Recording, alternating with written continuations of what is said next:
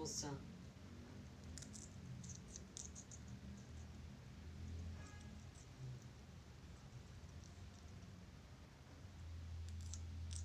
गुदा खाता है बाकी छिलका उलका फेंक देता है